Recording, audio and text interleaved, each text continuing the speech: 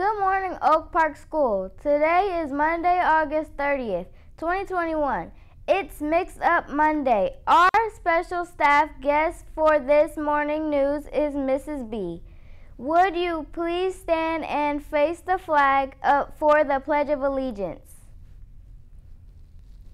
I pledge allegiance to the flag of the United States of America and to the republic for which it stands, one nation, under God, indivisible, with liberty and justice for all. Please remain standing for the our ple- Panther pledge. Today, I will be respectful, on task, accepting, and responsible. I am an Oak Park Panther. Hear me roar! You may be seated. At this time, we will pause for our, your moment of silence.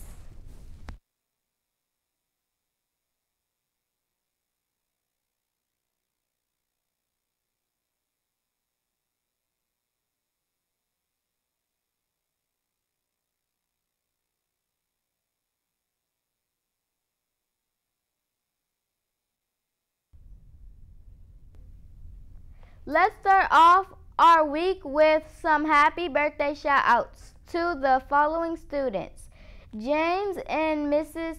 Wolf's class, Haley and Mrs. Derzadik's class, Ocean and Mrs.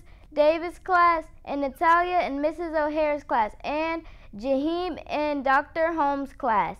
We w- want to wish you a big happy birthday.